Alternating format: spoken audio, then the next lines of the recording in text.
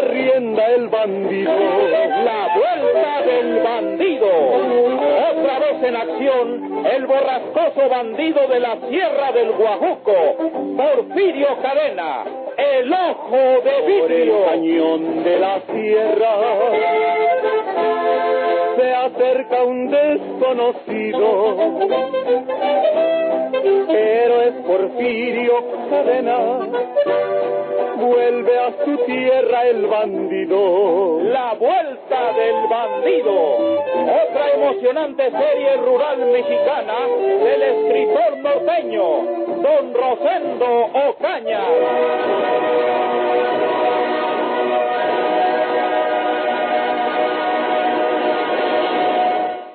Por favor, nunca le vaya a decir a Nemesio que yo le dije esto, porque es capaz de matarme.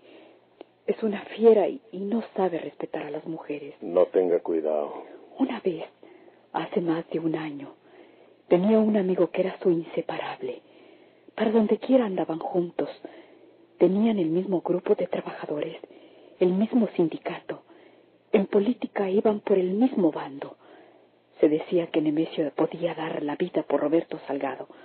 Así se llamaba. Pero una vez hubo un baile en Costa Grande, fuera de sus terrenos, y en ese baile Salgado se enamoró de una mujer y se la trajo a Costa Chica. Los familiares de ella se pusieron furiosos. Vinieron a Costa Chica buscando a Salgado para matarlo, pero él, de acuerdo con Nemesio, se escondió en un lugar donde nunca lo hallarían. Entonces, un hermano de Ninfa, que así se llamaba aquella mujer, se puso de acuerdo con Nemesio y le ofreció unos miles de pesos porque le entregara Salgado y no se metiera en el asunto.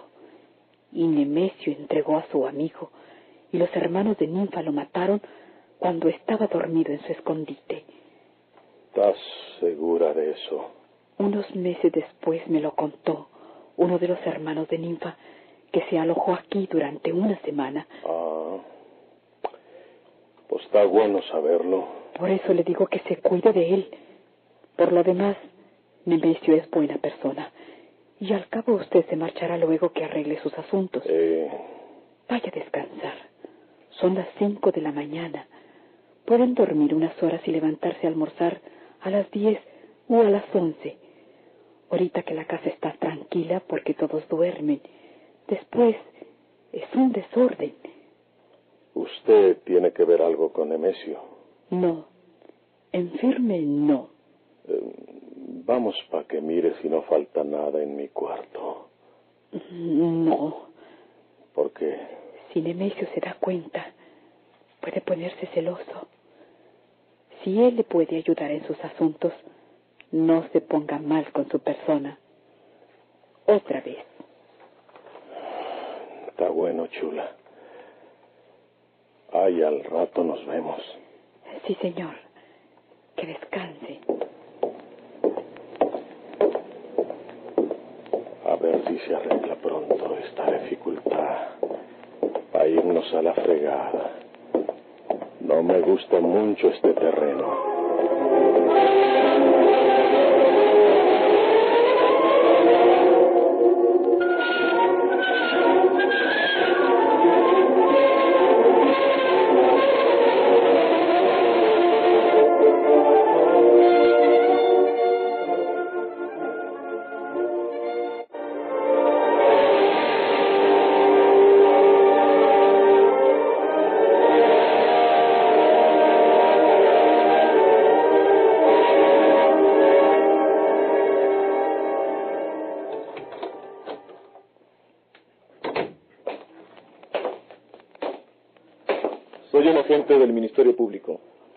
Aquí tengo los cargos que se presentan en contra de ustedes.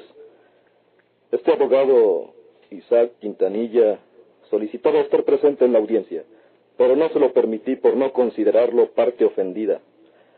Siéntense. Muchas gracias.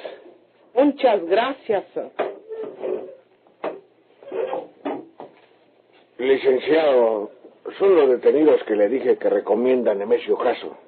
Ya lo sé. ¿Por qué crees que no les permitía a esos abogados que estuvieran presentes? Vamos a ver lo que se puede hacer, porque mataron a uno en el Bahía. Era un desconocido. No malos abogados lo conocieron. Lo mató a la mujer. Defensa propia. Eso dicen ellos. Ay, usted sabe lo que hace el licenciado. Sí. Señorita Victoria Torres, ¿confiesa haber dado muerto al occiso Félix Ábrego en el Hotel Bahía? O sea, sí, señor. Pero yo no tenía intenciones de matarlo. Yo iba caminando por el pasillo que estaba oscuro y él se me echó encima con el puñal. Entonces nos engarruñamos, le retorcí el brazo y le quité el puñal. Y estábamos forcejeando todavía cuando él se sintió picado y, y vi de que le salía mucha sangre. Pero él mismo se picó con el puñal al estar forcejeando. ¿Dónde encontraron el puñal? En el piso, junto al cadáver. ¿Conocía usted a ese hombre, señorita Torres? No, señor. Nunca lo había visto en mi vida. ¿Qué es de usted este señor Alejandro Ruiz? Es mi patrón. Yo soy la sirvienta de la señora Yané, su esposa. No más que están en su departamento y yo tengo mi alojamiento aparte. ¿Es verdad eso, señor Ruiz? Sí, señor. Victoria es una antigua sirvienta nuestra. Mi esposa la encontró aquí en Acapulco y ella le contó que vino acompañando a otra familia, pero que tuvieron una diferencia y la desocuparon. Entonces Janet, mi esposa, convino en pagarle los gastos para que continuara aquí en un alojamiento y llevárnosla a Monterrey a nuestro regreso. ¿Verificaste ese dato de la otra familia que la despidió, Farfán? Eh, sí, es una familia que ya se marchó a Monterrey. Eh, usted, señor Ruiz, conoce a los abogados Isaac y Héctor Quintanilla. Eh, me parece que son padre e hijo. Sí, señor. Son los familiares de mi esposa. Don Isaac es su padre, Héctor es su hermano. Ellos se enfurecieron porque Janet se casó conmigo, siendo yo un hombre de escasos recursos, un empleado. Y parece que nos siguieron en nuestro viaje de bodas eh, con intenciones de molestarme. Tratan de involucrarme en el desdichado incidente que le ocurrió a Victoria. Pero no es verdad lo que dicen. ¿Qué declaró la señora Janet cuando, cuando detuviste a su esposo en, en su departamento, Farfán? Eh, ella dijo que era un atropello, porque su esposo no tiene ninguna relación con el delito que se atribuye a Victoria Torres. ¿Estaba en su departamento en ese instante? Sí. ¿No había salido para nada? No. ¿Lo verificaste? Lo verifiqué. Muy bien. Usted, señor Ruiz, queda en libertad por no haberse comprobado los cargos en su contra. A usted, señorita Torres, le voy a consignar al juez para que le imponga una fianza de dos mil pesos. Y tenga usted presente que si se marcha de este puerto, se pierde la fianza. Sí, señor. Llévanos para que se cubran los requisitos correspondientes. Y que venga la señora.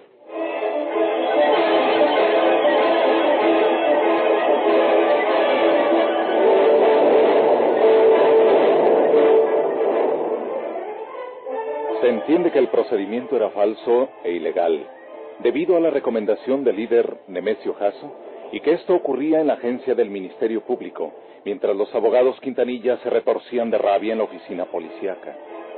Saltaba a la vista que los habían descartado de la audiencia para despacharse a sus anchas, y cabe añadir que don Isaac y Héctor aún ignoraban la actitud de Janet después de haber hablado con Porfirio Cadena. Mi padre y mi hermano no querían que me casara con Alejandro, pero nosotros lo hicimos. Ellos, en vista de mi determinación, supieron disimular. Asistieron a nuestra boda.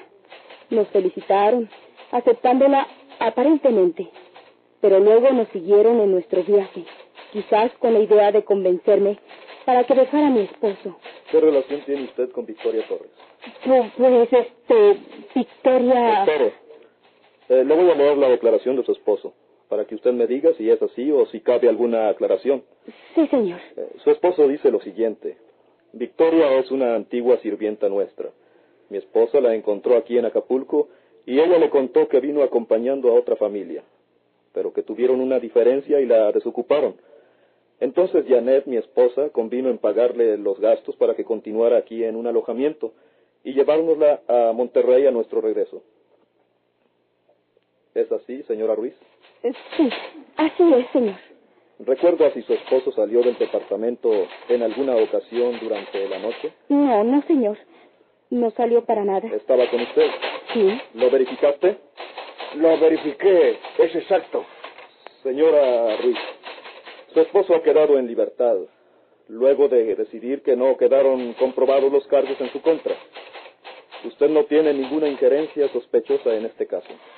Así es que, para evitarse otras dificultades en relación a su familia, esta autoridad le sugiere que abandonen Acapulco lo antes posible. Sí, señor. ¿Puede usted marcharse?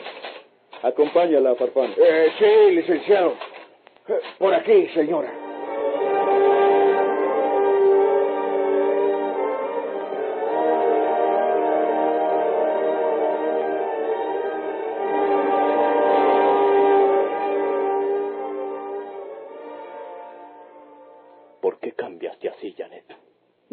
Creerás si te digo que yo misma no lo sé.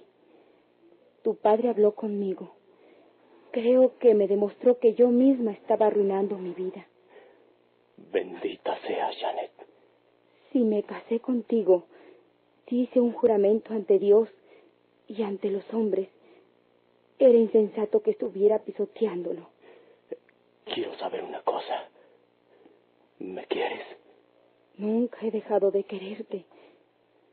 Pero obedecía a la, a la autoridad de mi padre, porque lo he hecho toda mi vida. Ahora necesito mucho valor para oír sus reproches.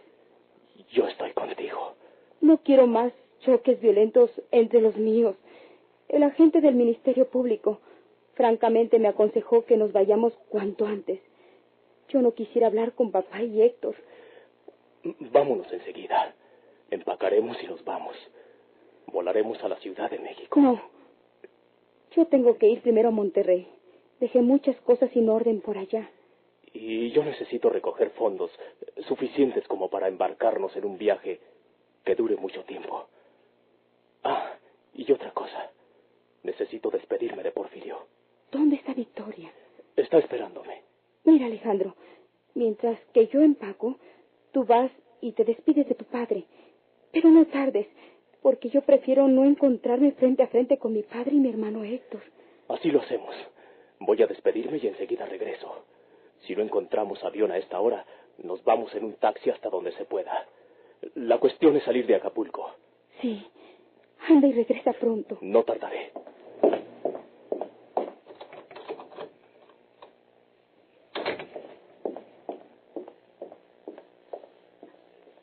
Dios mío, no vengan ahora papá y Héctor. Tienen que estar furiosos si ya lo saben. Y si aún no lo saben, ¿con qué valor se los voy a decir?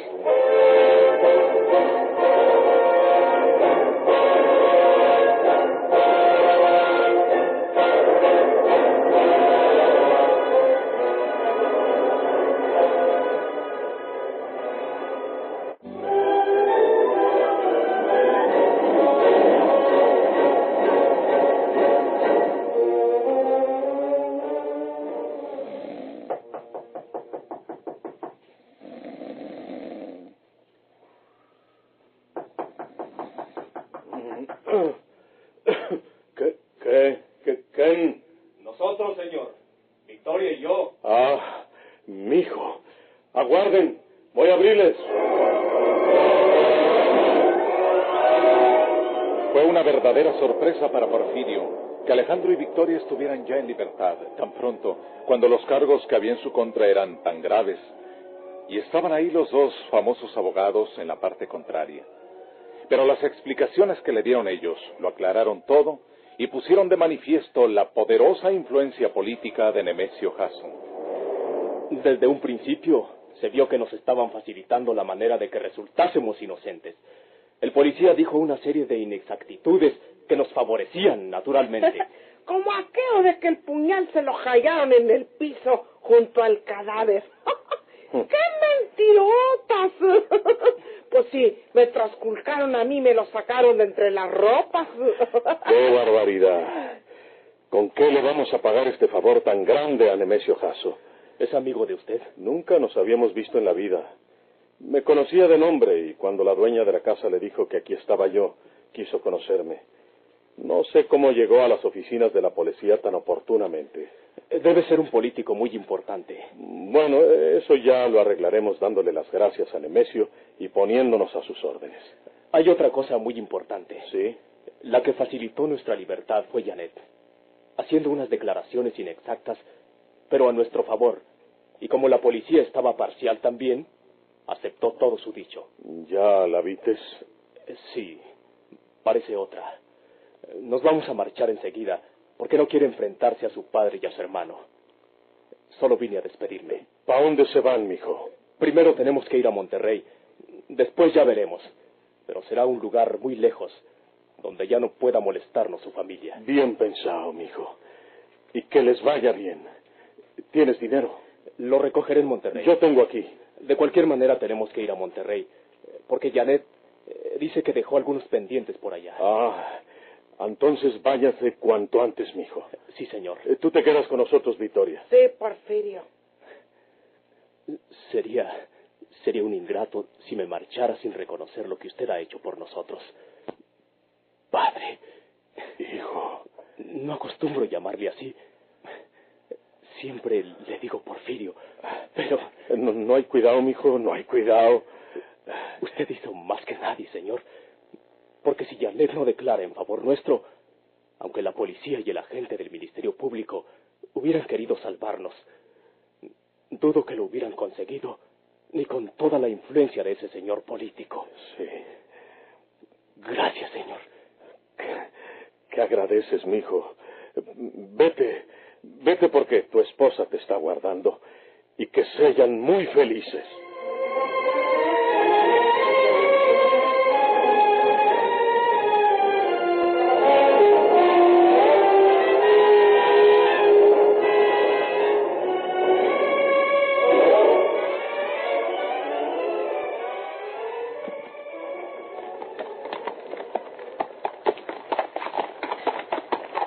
Isauro Valderas, el tejano, tenía la seguridad de que Lino Buitrón había huido con el rumbo del sur del estado, donde conocía aquellos terrenos como la palma de su mano.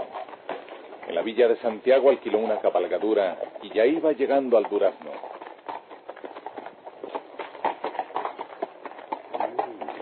A ese viejarano yo lo conozco. Sí, sí.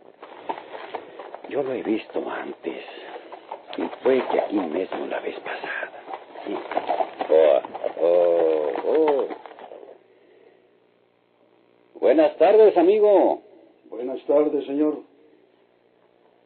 Se me afigura que yo lo he visto antes, oiga. Sí. Sí. Nos vimos en Monterrey. Usted andaba uniformado de policía. Atacó a Lino Huitrón y yo intervine para que no lo mataran. Ah, ya, ya me acuerdo. Tengo entendido que usted persigue a Lino por algo que tienen pendiente. Pero yo le ruego que no me venga a crear problemas aquí en mi jurisdicción.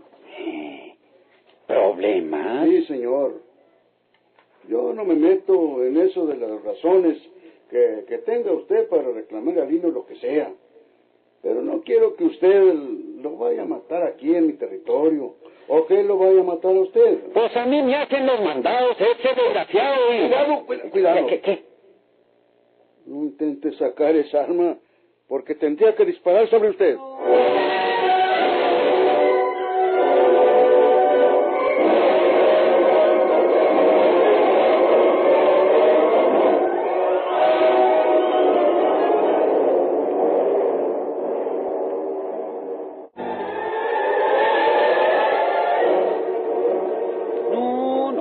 No, la iba a sacar. Iba a meter la mano a la tacuachera, pues para sacar este paño colorado y limpiarme sudor. Sí, Oiga, mis razones, señor. En primer lugar, sí. aquí no anda Rino Huitrón. No ha venido por aquí. No se le ha visto. Y en segundo, aquí no me venga a hacer más dificultades, porque ya tengo bastantes. Devuélvase por donde vino, por ahí. Y no quiero volver a verlo en mi jurisdicción. Ah, pues está bueno. Está bueno, amigo, está bueno. Ahí nos veremos. Sí, sí, sí, que le vaya bien.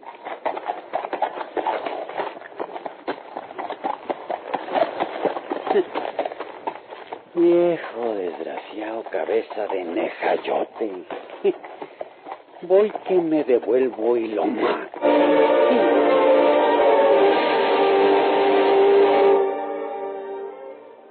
Tu vuelo, paloma, hasta el crestón de la sierra. Y a todos diles que ha vuelto ese Porfirio Cadena. La vuelta del bandido. Por esta estación y a la misma hora, siga escuchando los emocionantes capítulos de esta nueva serie rural mexicana del escritor norteño, don Rosendo Ocañas. Muchas gracias por su atención. Vuela, vuela, palomita, pasión descubrido y a todo el pueblo le avisa que está de vuelta el bandido.